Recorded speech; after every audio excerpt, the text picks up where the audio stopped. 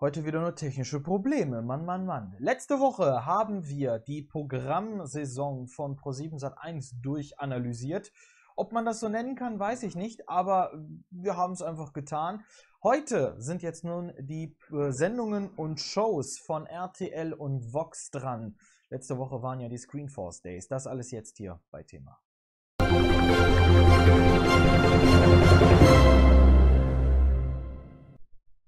Und damit herzlich willkommen zu der TV-Thema am heutigen Donnerstag. Der, ich glaube, vorletzten Sendung, bevor wir in die Sommerpause gehen. Ich müsste ganz genau noch mal kurz auf meinen Kalender lunzen. Ähm, äh, das ist der Fall. Tatsache. Vorletzte Sendung vor der Sommerpause. Also nächste Woche noch eine Sendung. Dann werde ich mich in den äh, verdienten Urlaub erstmal zurückziehen. Bevor wir das aber erstmal, äh, bevor das erstmal noch in weiter Ferne liegt, werden wir heute erstmal über das reden, was wir letzte Woche schon getan haben. Und zwar nämlich haben wir letzte Woche über die Neuheiten und über die Programme der Sender des, äh, des Konzerns Pro7 Sat1 Media SE geredet, vorwiegend über die deutschen Sender Pro7 Sat1, Kabel 1 und so weiter. Im, äh, äh, das geschah aber alles im Rahmen der Screenforce Days, die unter anderem in Köln stattfanden. Was heißt unter anderem, sie fanden in Köln statt, zwei Tage lang haben die Fernsehsender, aber auch die Werbefirmen äh, äh, äh, ein bisschen vorgestellt, was sie in der nächsten Saison machen werden. Auch kleinere Sender wie Sport 1, aber auch Pay-TV-Sender wie Sky haben ihre äh, Programme vorgestellt für die kommende Saison, die ungefähr Ende August beginnt. Also jetzt ist im Moment das Sommerprogramm, das Hauptprogramm also wie man das ja immer so schön nennt, ist ja jetzt in der Sommerpause. Ja, und wir beginnen und wir machen heute weiter und das ist auch dann geradewegs der letzte Teil, weil alles andere nicht so erwähnenswert ist, dass man bei Sky sagen kann, juhu, man holt den Quatsch Comedy Club zurück bei Sport 1, man will ein bisschen mehr was anderes machen außer Fußball, weil man alles verloren hat an Rechte. Äh, kommen wir zur Mediengruppe RTL. Geradewegs zwei Sender haben viel präsentiert und das ist einerseits RTL selbst und Vox. Und wir beginnen mit RTL, denn RTL hat ja auch äh, mit Quoten zu kämpfen, beziehungsweise nicht nur mit Quoten zu kämpfen, sondern auch äh, mit, mit, Quoten schon, aber mit, mit niedrigen Quoten, sinkenden Quoten und das auch bei US-Serien. Also nicht nur wie bei Pro7, wie wir darüber geredet haben, sondern auch äh, bei RTL ist das Ganze gewesen. Shades of Blue unter anderem äh, war ein äh, letztlicher Flop für die Kölner. Bones, die Knochenjägerin, musste das Ganze anscheinend mal wieder ein bisschen retten am Dienstagabend. Klar, dass man dann in den Screenforce Day keine einzige neue US-Serie angekündigt hat, sondern eher sagt, wisst ihr was, wir machen den ganzen Scheiß selbst. Und hat RTL gesagt, dann machen wir das auch. So hat man fünf neue eigenproduzierte Dramaserien in Auftrag gegeben, was schon bekannt war, worüber wir aber nicht berichtet haben, denn aktuell sind ja in eigenproduzierten Sendungen, äh, Serien ähm, ja, Cobra 11 und der Lehrer natürlich dabei. Klar ist, dass es jetzt auch ein, ähm, eine Neuigkeit in den Serien geben wird. Wir werden auch gleich über einzelne Serien noch auch nochmal reden. Und zwar hat man ja mit dem Arbeitstitel Plötzlich Anwalt auch eine Serie äh, bekannt gegeben, die nun inzwischen umgenannt wurde in Back is Back. Und ähm, zudem hat auch RTL verraten, dass Bad Cop kriminell gut noch in diesem Jahr auf Sendung gehen wird. Vor allem in den Serien sollen es zunächst zehn Folgen produziert werden. Ebenfalls bekannt ist auch, dass Beste Schwestern in diesem so Sommer eine weitere äh, Sitcom an den Start gehen wird bei RTL, damit man auch anscheinend mehr was zum Lachen hat. Außerdem sollen auch neue Filme kommen, so soll Passagier 23 und das Joshua-Profil, zwei Bestseller von Sebastian Fitzek, verfilmt werden. Darüber werden wir gleich auch noch mal ein bisschen schnacken. Im Bereich Show wird RTL ähm, auch viel mit Frank Buschmann machen, der jetzt in der nächsten Saison neben Sky auch bei RTL zu sehen sein wird und mit Pro7 Sat1 generell nichts mehr am Hut hat.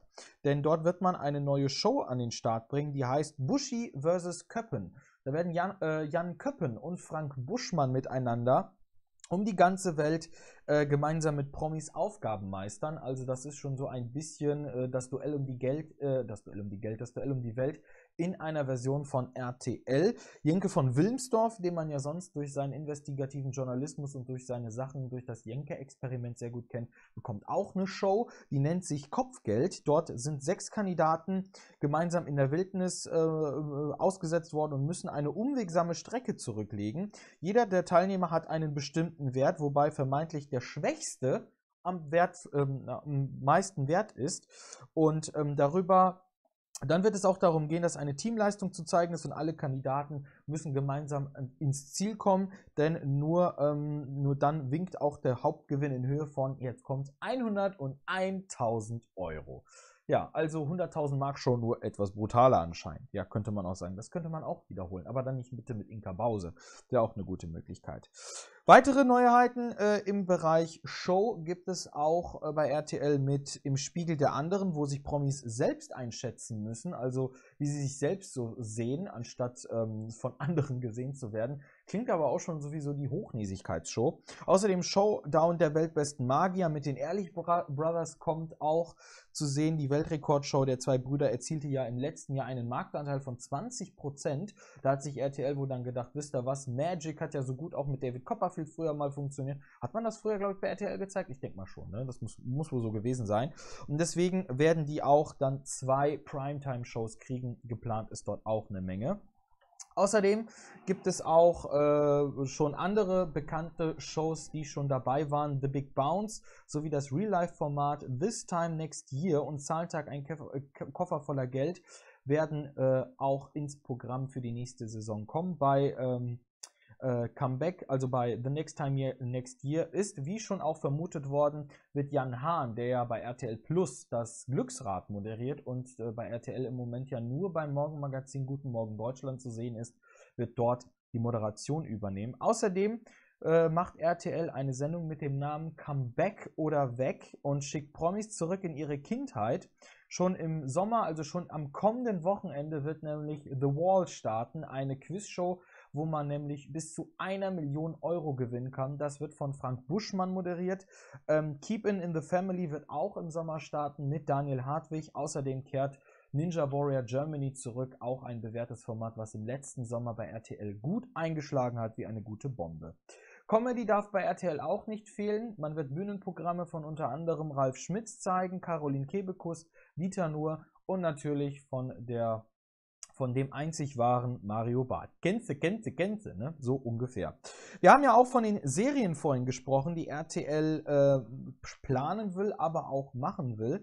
Und ähm, da gibt es unter anderem auch äh, Serien und Filme, mit denen RTL an den Start gehen will. Beispielsweise ist es so, bei äh, Bad Cop Kriminell Gut geht es in dieser Crime-Serie um den Kriminellen Jan Stark, gespielt von David Roth. Rott, der nach dem Tod seines Zwillingsbruders nicht nur in dessen Rolle als Kommissar, sondern auch in die äh, Rolle des Ehemanns und Vaters schlüpft. Äh, produziert wird das Ganze schon seit Ende des äh, Ende März schon in Hamburg von der Talpa Germany Fiction GmbH. Also Talpa hat da seine Finger im Spiel, so gesehen auch ITV, weil es ja dazugehört. In den weiteren Rollen unter anderem Daniel Roddick, Alma Leichberg, Victoria Flair und Lisa Marie Trense sind dort zu sehen. In Liveness äh, eine Produktion von Sony äh, nimmt Ex-Truppenarzt Alex Rode, gespielt von Jan Hartmann, in seiner neuen Wirkungsstätte in einem Krankenhaus natürlich mit ganz eigenen Methoden den Kampf für mehr Menschlichkeit im System auf. Da, dabei gerät er in selten zwischen, äh, zwischen den Fronten, aber auch in Wirrungen von einer alten Liebe. Also auch etwas ganz Besonderes. Dann gibt es äh, noch die Serie Jenny echt gerecht. In der gleichnamigen Serie muss die Jenny nämlich, gespielt von Birte Haun Hanus, äh, Hanus Richter. Ähm, äh, die ist eine alleinerziehende Mutter aus einfachen Verhältnissen und mit dem Herz auf der Zunge. Als ungelernte Anwaltsgehilfin schafft sie es ihren Anwalt und neuen Chef, gespielt von August Wittgenstein, nicht nur die Fälle, sondern auch den Kopf zu verdrehen. Das wird ebenfalls von Talpa Germany Fiction präsentiert. Die erwähnte ähm, Serie Back is Back, die vorhin ganz anders hieß, nämlich ähm, plötzlich Anwalt, geht es um Hannes Beck gespielt von Bert Tischendorf. Er ist vielfacher Vater und Hausmann, doch er bekommt Schlag auf Schlag. Seine Frau geht fremd, er wirft sie raus und nun gesteht er alleine mit, steht er alleine mit den vier Kids da. Jetzt muss Hannes zum ersten Mal auch arbeiten gehen als studierter Jurist und mit einer schlagfertigen Unterstützung seiner russischen Putzhilfe, der Jasmina, gespielt von Andre, Andrea Schneider, einer ehemaligen Richterin, muss er als Pflichtverteidiger die ganz schwierigen Fälle übernehmen Hier hat Ufa Fiction seine Finger im Spiel. Bei den zwei Fi äh, Filmen, um die es geht, einerseits Passagier 23 geht es um das mysteriöse Verschwinden von Menschen auf einem Kreuzfahrtschiff und ähm, in dem Joshua-Profil, da geht es nicht um Joshua Kimmich, nein, keine Angst, wird ein Mann zum Gejagten, der noch gar nicht weiß, dass er ein entsetzliches Verbrechen begehen soll. Sprich, er, er muss fliehen, weiß aber nicht, was er noch nicht getan haben soll. Klingt auch recht interessant, ob das was wird, wird man sehr, äh, wird man wahrscheinlich sehen. Barbara Thielen äh, von Ziegler Film Berlin wird sich für Passagier 23 um Passagier 23 kümmern. Bei dem Joshua-Profil wird Ufer Fiction, hier wird Jörg Winginger der Produzent sein, wird das Ganze laufen. Die Dreharbeiten zu dem Film sollen noch in diesem Jahr beginnen, wahrscheinlich erst nächstes Jahr. Wahrscheinlich wohl Mitte, also zu Ostern bestimmt oder so, wird das bei RTL zu sehen sein. Man weiß es auch noch nicht genau. Schauen wir aber dann zu dem anderen RTL-Sender, der seine, Programm, äh, seine Programme äh, für die kommende Saison auf dem Screenforce Day letzte Woche präsentiert hat. Und zwar nämlich geht es um den Sender mit dem roten Ball. Und zwar nämlich das, das eher eine rote Kugel, kein Ball. Ball ist Sat 1, Kugel ist Vox. Es geht um Vox.